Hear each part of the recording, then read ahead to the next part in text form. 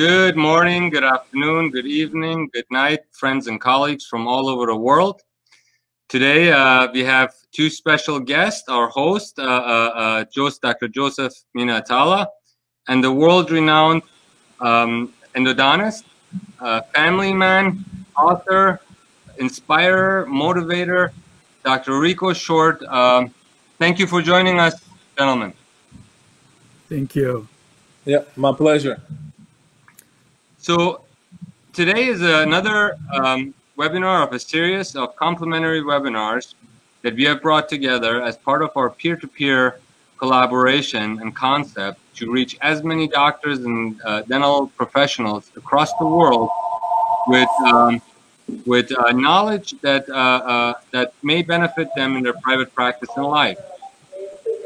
That said, uh, we have a very nice program for you today about uh, endodontics. You know, implantologists usually begin when endodontists get done, uh, but we all have a duty uh, to, uh, to listen to Dr. Short and his presentation about how to relax and, and make sure that you exhaust all of your options with natural teeth before you start thinking that way, because natural teeth will always be better what God gave us than what we can ever uh, ever put back into a patient's mouth. With that said, um, I'm going to go ahead and Dr. Uh, Atallah, you have the floor for the kind introduction.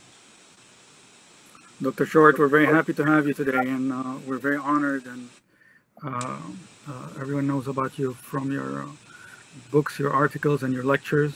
I'm going to read a few of your credentials so like people can know a little bit more about you before you start.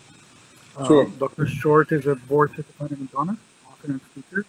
In addition, he is an expert spokesperson for the endodontics of the American Dental Association. It's a professional organization representing approximately 161,000 U.S. dentists. He's also the root canal specialist to the stars. Dr. Short has over 20 years of experience in dentistry and over 17 years in endodontics. He's a member and the fellow International College of Dentists, a graduate of the ADA Institute of Diversity in Leadership program, and an ADA success speaker. He is also an expert consultant in endodontics to the Georgia Board of Dentistry and an assistant clinical professor at the Dental College of Georgia in Augusta.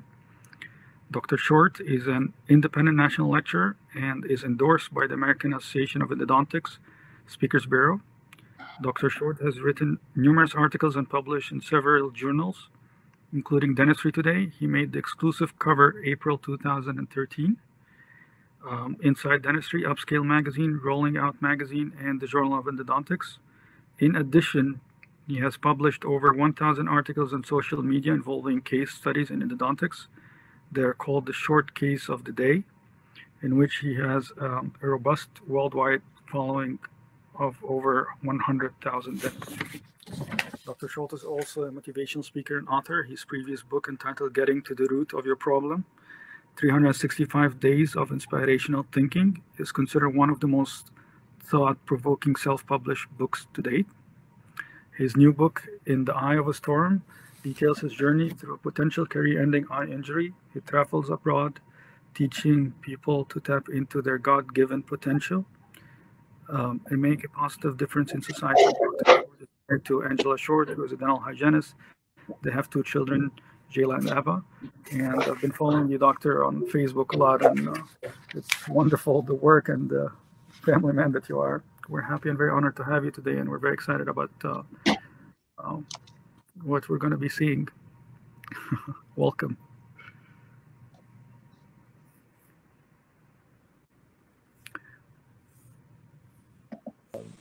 I think I'm muted. Am I okay? Yeah, yeah. No. Yes, okay. So thank you for that wonderful, wonderful introduction. It's great to be a part of the um, of the group, the GIS group. Um, been able to touch dentists um, and other specialists all over the world, and this has been been a heartbeat of mine to be able to touch people that probably won't have access to the knowledge information that we have here in the United States and around the world. So we prepared a special video for you so you can actually go and see when to relax and when to extract. And I know I'm here with a bunch of people that love implants. I love implants too, only if the tooth can't be saved. In fact, I'm going to need an implant. I actually had a root canal that serviced me well for over 20 years, and I had I had a um, a tic tac battle. Anybody know what tic tac is? Some hard candy with my daughter. We wanted to see who can eat the eat the most of it um, at the same time, and I bit down and um, actually cracked the root that I had with a, with a root canal. I had to get that extracted, and now I'm going to go into um, implant world. So not only I um, support implants, um, if you can't save your natural tooth, I'm going to need one on tooth number two. So so the the um, the presentation I prepare for you guys is going to go through a lot of different things. It's going to go through things um, pretty fast. So make sure you have a pen and pencil or, or, or some notes ready. Um, it's going to be talking about um, how to save teeth that would otherwise have to be extracted. I talk about different techniques um, dealing with apexogenesis, apexification, and regenerative endodontics. Um, I talk about um, comparing a root canal um, treated to to an implant and the longevity and some of the issues we have actually in both of those situations. Uh, talk a little bit about some trauma, not a lot. Uh, talk a little bit about um, external cervical resorption, how to diagnose it and how to treat it, and um, some other things too um, in this um, roughly probably about 30, 45 minute presentation that I have for you guys. So, and I want to say thank you for all you guys that have been following me all over the world. I appreciate your support. And I appreciate those who have been praying for me during this crazy eye injury I had um, in September and being able to come back to work by the grace of God in March and doing what I love, which is um, root canals. So, um, without further ado, I hope you really enjoy this presentation that I specially prepared for you today.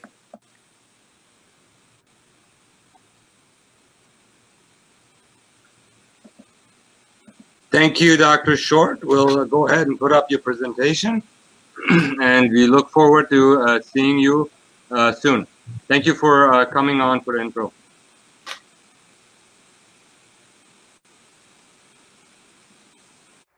Hey, thank, thank you, Kianor, for that uh, warm welcome.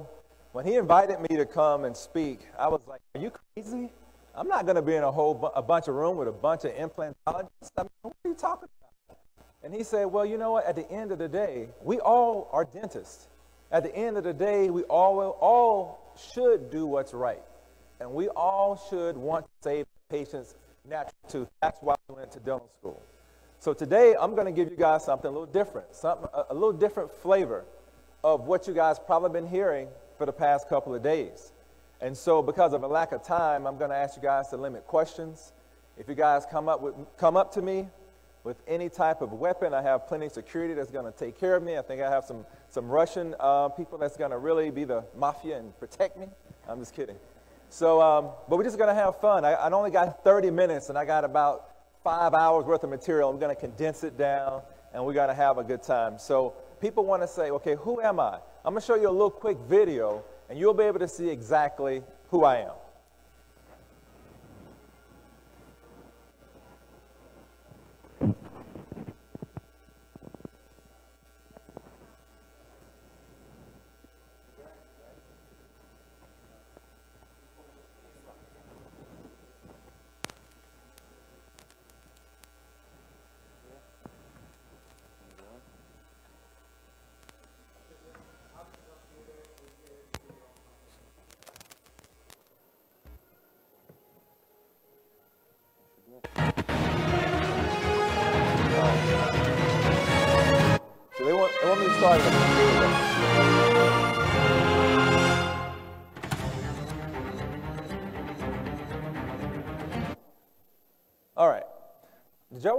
Okay, okay, hold on. I'm sorry.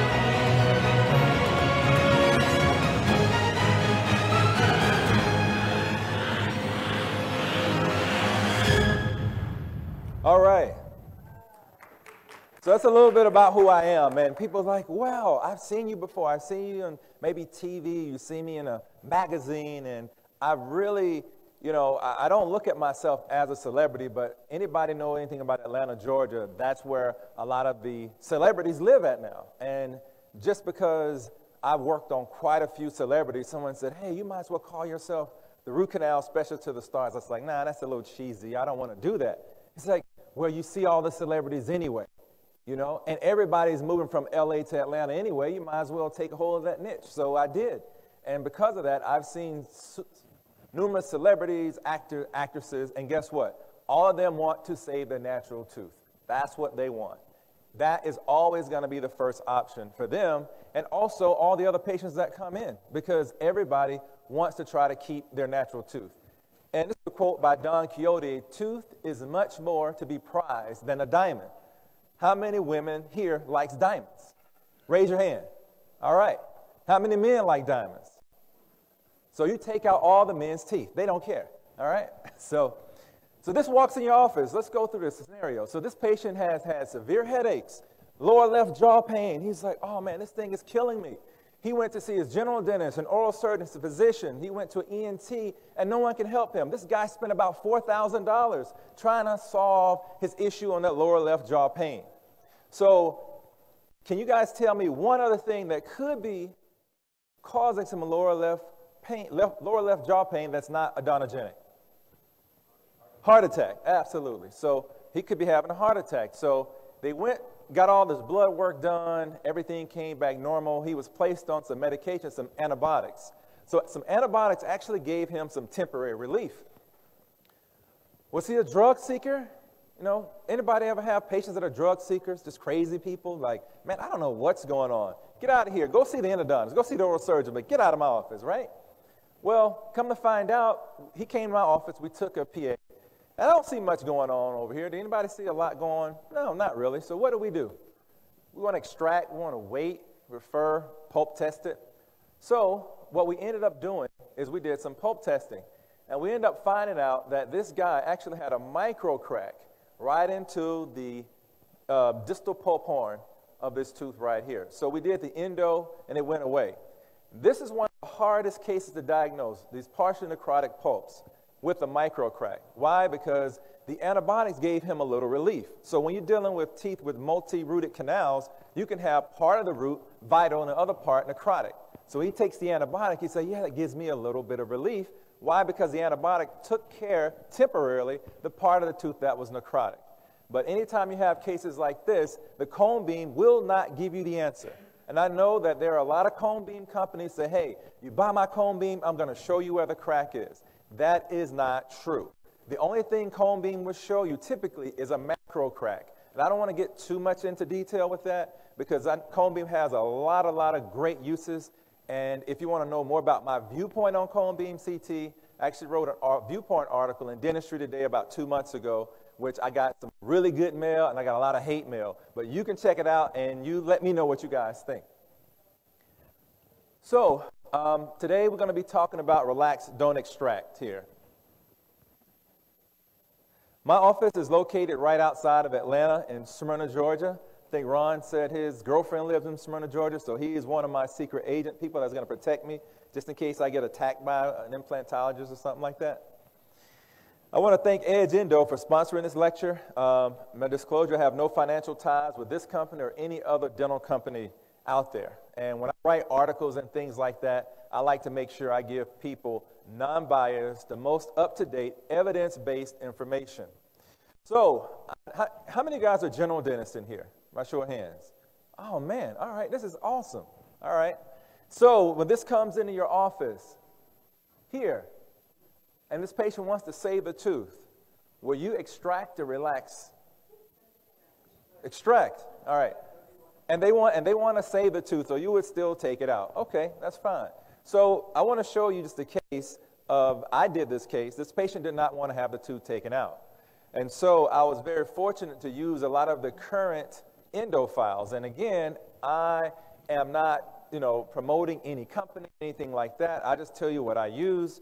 So um, Edge Endo is a new company, and they have X files, which is a universal file, and that's able to allow us to do these kind of cases right here. And so this case was able to be successfully done, and um, it got restored, and then the patient still has the tooth. And so the way we typically would normally try to obturate these kind of cases is warm vertical condensation, but you can't get the heat within five millimeters of the apex. So then, now we're into the new bioceramic stuff, the new bioceramic technology. Now they have bioceramic gutta percha, bioceramic sealer, and guess what? You don't need heat. This is almost kind of like a single cone type of deal, and we're dependent on the bioceramic sealer for the seal, not the gutta percha. In fact, the gutta percha is just a carrier to take the sealer down to the apex, and if you ever have to retreat it, you can actually go through the gutta percha, and that can help you be able to retreat these kind of cases. So this is that viewpoint article that I had wrote uh, for Dentistry Today. And again, this is my disclosure. I just want to tell you guys the truth with the best current evidence-based research. And everything that I talk about is not financially driven. I've been approached by all the dental diff different dental um, companies from Brasseler to Dentsply. Hey, we want you to speak, blah, blah, blah, blah. And I'm like, look, I want to give people the truth. If I sign that document, you're going to tell me what you want them to say to make a dollar. And I said, no, I don't want to do that. So I'm one of the only few ones out there that can talk about a myriad of products and also give non-evidence, well, evidence-based, non-biased information. So some of our course objectives.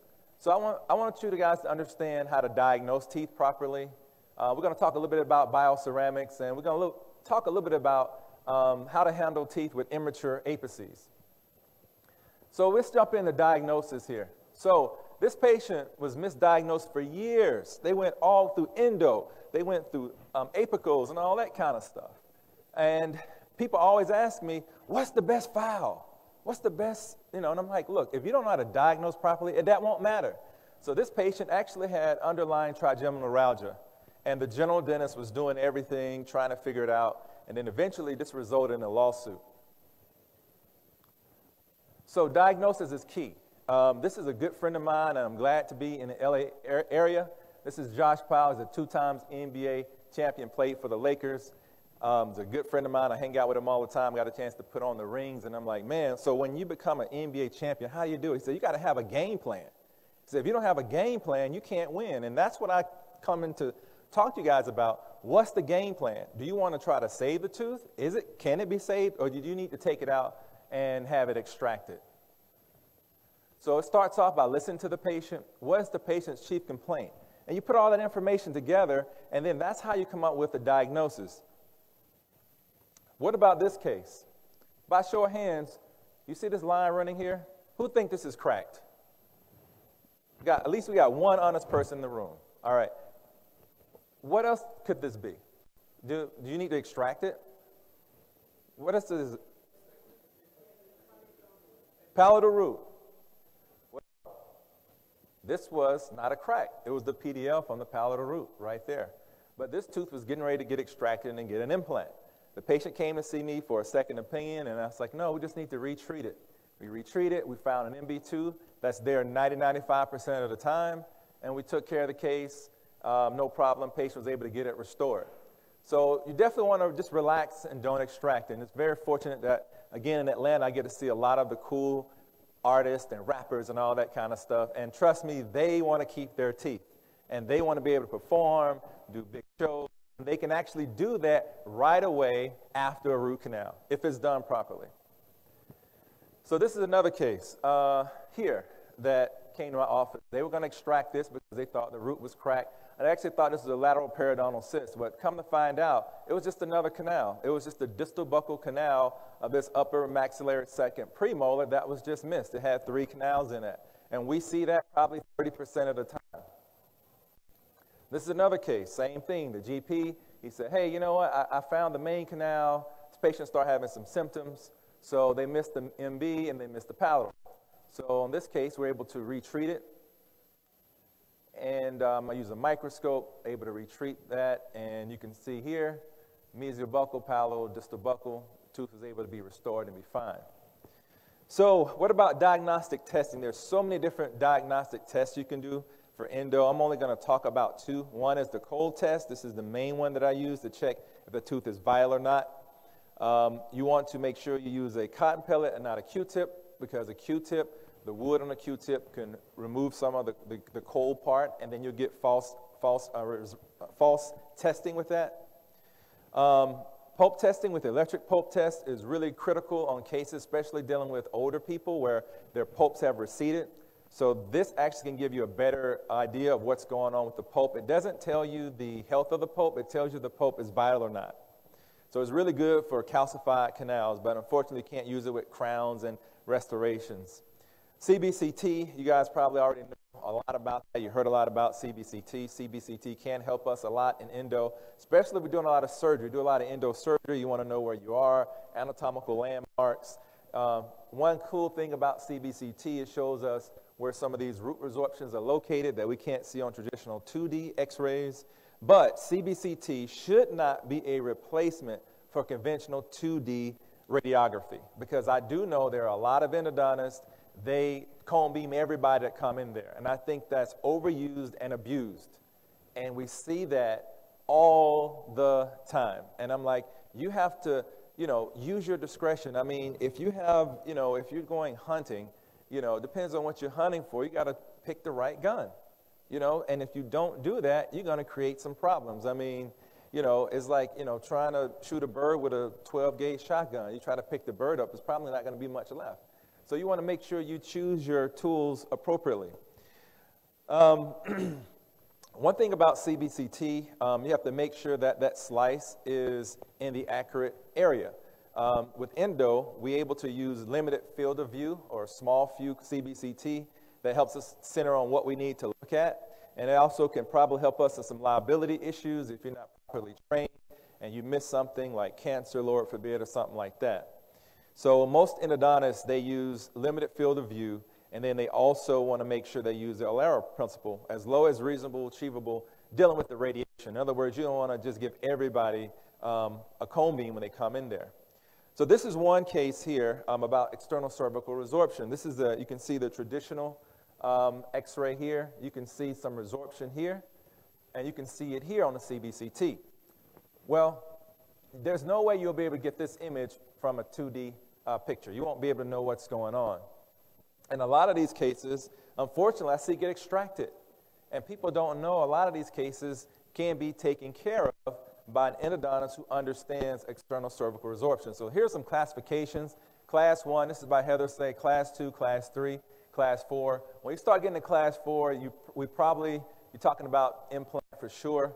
This one, um, you can probably do this without even doing endo. This is actually more of a, I tell people, external cervical resorption is more of a periodontal defect than an endo problem because the pulp doesn't really have anything to do with it. So when you start talking about class two, you get closer to the pulp, then if you go in there and you try to repair this, with some Geristore or what have you, you're going to get closer to the pulp and you're probably going to irritate the pulp, so you might as well go ahead and do endo. Something like this would probably require flap surgery, endo flap surgery on the buccal and lingual to take care of that um, defective tissue caused from the osteoclast.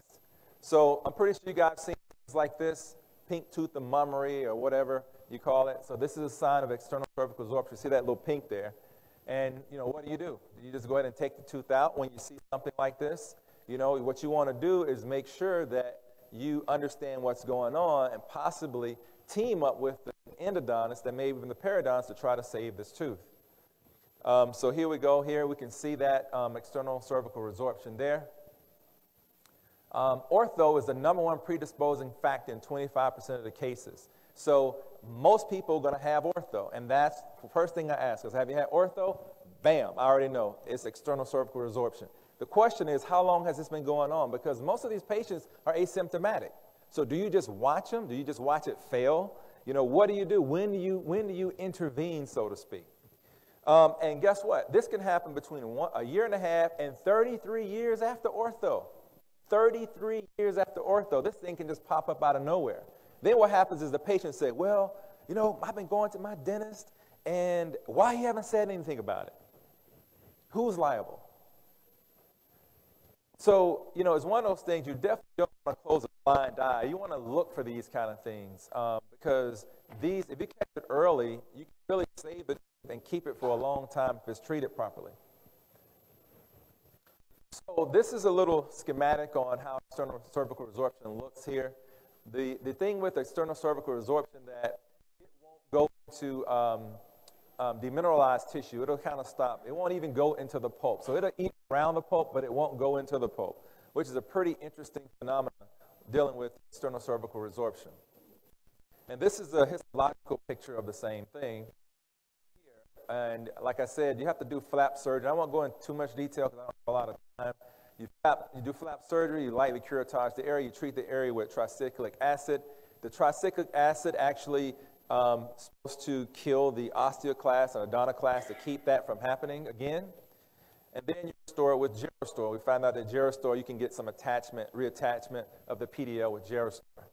So this is a case, it's not my case, but this is kind of a similar case you can kind of go through that this patient um, ended up having some issues there. They got a 2D image, 3D image, showed you where there's resorption on the buccal and lingual. This thing was flapped, cleaned out, Geristore's placed. They ended up doing the endo because they knew they would be into the pulp or get close enough to the pulp that it would cause some issues. So they went ahead and did the endo, and then they restored the tooth. Uh, this is a case of mine, external cervical resorptive case is an 11 year old kid. She didn't have any pain. She had a history of stage one ortho. So here it is back here. And if you look at it really closely with a bite wing, this almost kind of looks like decay, but it's not because when you poke it, it's going to feel like a honeycomb and it's going to bleed really, really profusely. So make sure you don't confuse this with decay because it's not.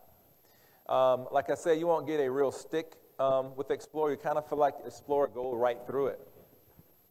And so this particular case, um, um, the kid, the mom did not want to do surgery. So she was like, well, what else can we do to try to save this tooth? And I don't want my kid to be in pain. I said, well, we go in here, we do endo. So when we did endo, um, we cleaned everything out.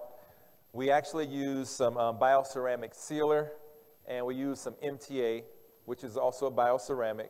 And the thought is, since the MTA has a high pH, it can slow down the resorptive process because it, it definitely will create a more healing environment, more alkaline environment, and hopefully uh, arrest the resorption.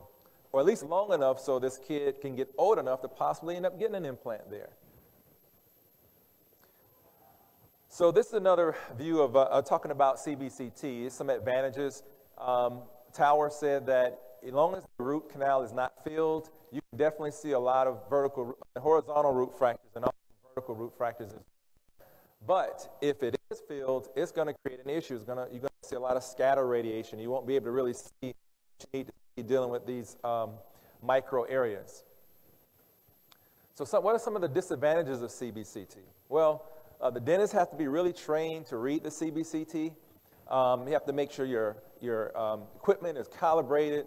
Um, some of the studies show that you got to have a, a, a, um, a really sensitive display. You just can't use like a traditional uh, laptop display. And also CBCT, and I heard one of the other speakers say that you, you can't evaluate soft tissue with CBCT. Uh, what are some other disadvantages? Like I said before, you have scatter dealing with a post or a crown, and they say, oh, well, we got some software that can limit that scatter. I mean, they have some, but it won't completely eliminate the scatter. And in our world, as endodontists, I mean, we are down to microns. we we need to see if that micro vertical root fracture is really there or not, because that's our Achilles heel. So we know that um, the vertical root fracture has to be within four degrees of the fracture plane for the CBCT to pick it up. And I already talked about artifacts that can hinder your ability to be able to see the crack um, as well. And so currently there's insufficient evidence to suggest that a CBCT is a reliable test in detecting vertical root fractures in root canal treated teeth. And Chang did that study in the Journal of Endodontics in 2016. So, what about the vertical root fractures? How can we see those? Well, Walton produced an article back in JADA in February 2017, and he said pretty much to see these micro vertical root fractures that won't show up on your traditional PA, they probably won't show up on your CBCT. So, how do we find it? You got to lay a flap. And you have to look, physically to look and see that vertical root fracture. We know that's our Achilles heel. And those are the ones we will be sending to the implantologists or the people who like to do implants to take the tooth out and place the implant. In the future, as CBCT changes and get more high def, maybe we'll be able to see some of these in the future, and that would truly be a game changer. But until now, you know, the CBCT will not detect micro vertical root fractures, which is our Achilles heel. Now, what the CBCT will detect is bone loss. You will be able to see the bone loss, but you, you'd be like, where's that bone loss coming from? There's been plenty of cases, if I got time to show you guys, that there are cases that looks like the root is cracked, but it's a, it's a lesion from, from, a, from a root canal that's not working. So, accurate diagnosis is a marriage of art, science, and experience. Let's talk a little bit about pulpal and periodontal um, relationship. Well, this is the relationship. A healthy pulp rules out endo. If you got a healthy pulp, pulp, pulp tissue, you don't need to do endo. Unhealthy pulp tissue, it can cause the periodontal status to break down. So what about a case like this, when you have a situation where the previous root canal was done, the bone is broken down? I can tell you, I've seen some of these cases already here that most of you guys would extract this tooth because I've sat in here long enough and I've seen teeth like that and I'm like, man, I could have saved that tooth. Because they see the bone broken down, oh, this looks like crap, you know. But this patient didn't want to lose the tooth. I decided to go ahead and retreat the case. We put calcium hydroxide. This is a two-year recall with nice healing in that furcation. So what about a case like this? This case is from Dr. Mo Hamill out of Amman, Jordan, who's a Facebook friend of mine. So if you guys aren't on Facebook, get on Facebook. There's a lot of cool things going on. You can watch, see a lot of surgeries, a lot of cases. I, I post on Facebook daily. I do the short case of the day. And it, it's an awesome event where you can kind of learn a lot, ask questions without even having to pay. So it's a great tool. So I saw this case. It was a pretty cool case that he did. He did endo. It was a lateral canal. We lost some bone here. And after, what, six months or so, however that time, oh, oh five years, actually, I'm sorry. And look, even grew some bone back vertically. I mean, that's amazing to be able to do that. So what about the endo-perio pathways? We know we have some primary endo that causes perio issues, vice versa. We have some concomitant issues where it's a combination of both. I don't have a whole lot of time to get into that, but um, these are some of the pathways that, that, that can create these issues. Patient came in right here. How many, how many people think this is a perio defect? Raise your hand.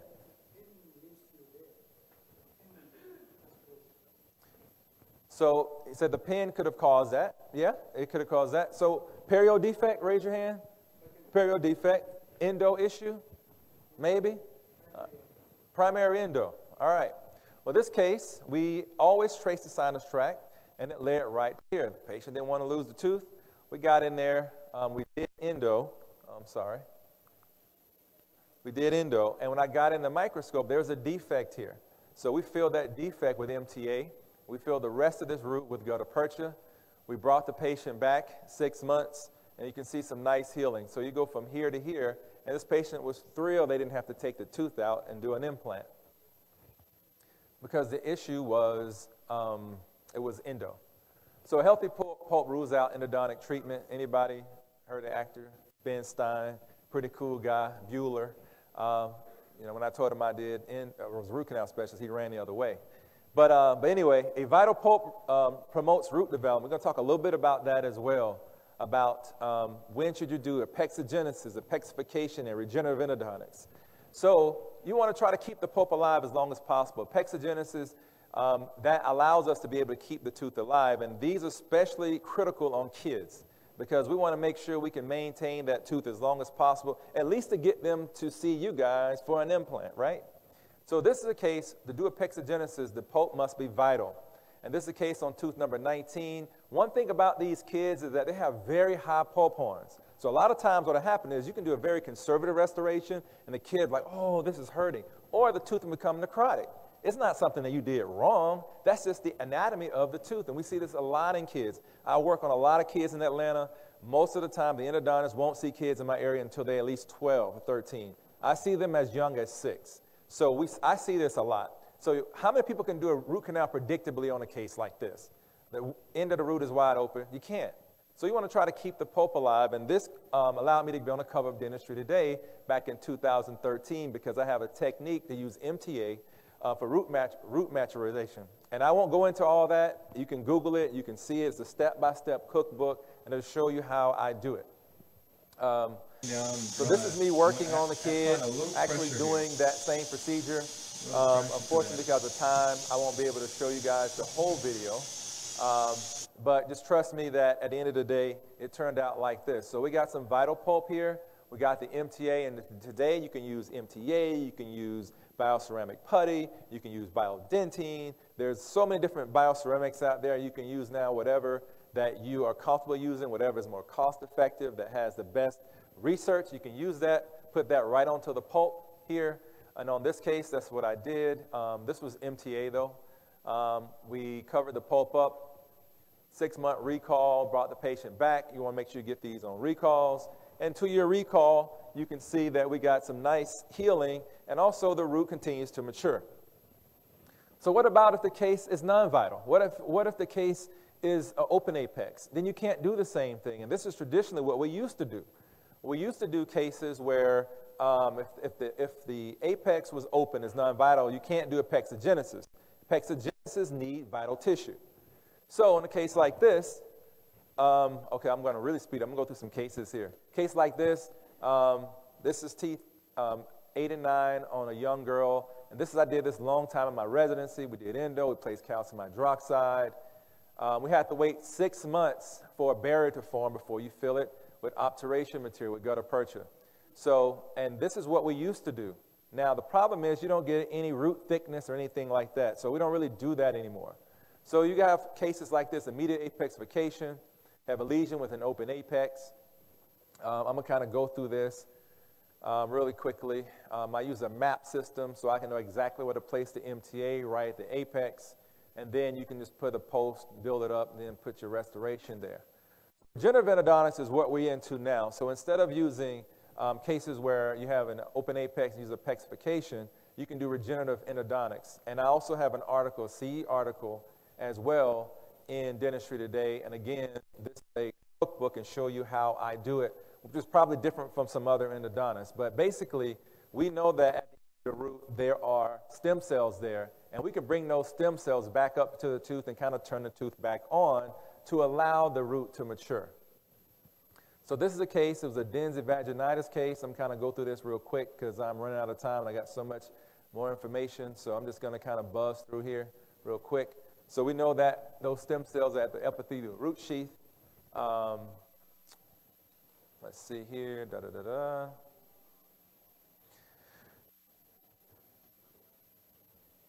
So this is another case here. Um, we're doing the procedure here. We put calcium hydroxide in here to disinfect it. We close it with some Cavit. We brought the patient back in a month. We put MTA there. This is MTA.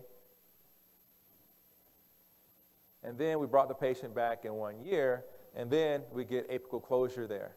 So now this case, this patient can, get, can go through ortho. They can move the tooth. Why? Because they have a ligament. And that's the luxury of what we do, being able to save the tooth. You have a ligament.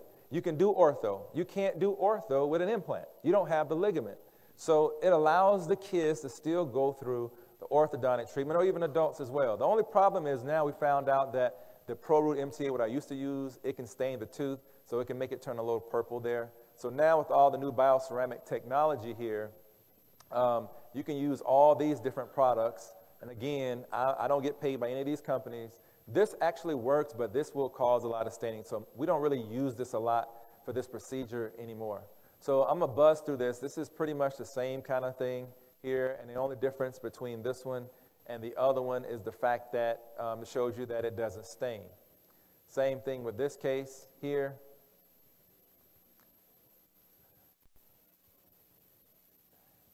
A young girl, and um, here it is. Instead of having to have that tooth taken out, we get some, um, some regenerative um, cells to start closing off that apex, and we getting our PDL back here. So um, I'm going to kind of run through this real quick. Do, do endo cases fail? Do patients fail to heal? And a lot of times we have to make sure we don't put the cart before the horse because sometimes you can do the best root canal, but guess what? The root canal may not work. And then you want to blame yourself, but you know, you got to remember just like Dr. Sammy said, we have a host, we have a person on the other side of that. And if that person's body decides not to heal, it doesn't matter how good you are or what kind of technique you use, it won't work. So I'm just kind of go through this real quick here and try to get through some of this stuff here. And I'm sorry, I've never had to do a uh, 30 minute uh, lecture, but I'm doing the best I can to kind of show you guys some cool stuff here. So um, going through this endo versus implant, you can't really con- compare the two because one of them is, you know, is its success, is survivability. So it's kind of comparing apples to oranges there. But at the end of the day, long term, um, there's no difference between a properly done endodontic treatment case um, and a properly done single rooted, um, I mean, um, implant case as well. So this came to my office, and how many guys would say that this is a failure? Raise your hand. All right. And I would, I would tend to agree. Now, this case, this was done 30 years ago. The patient was asymptomatic, and he said, I don't want you to touch that tooth. I'm having pain on this one. So, in this patient's mind, this was a, was a success. And as dentists, we look at certain things, it's like, oh, it doesn't look good. This patient was in fully function, asymptomatic on something like this. In that particular patient's mind, and when I listened to the patient, this was a success. Even though as clinicians, we look at this and it's like, man, this is not. So um, I'm going to kind of skip towards the end here because I know I'm running out of time here. Um,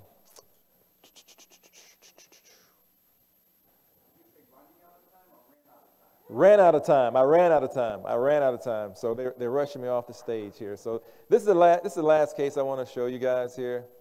Um, and this is a case where the endo, this had surgery, had a root canal, and I don't know, I guess the root canal gods pulled the gutta percha out and dissolved it.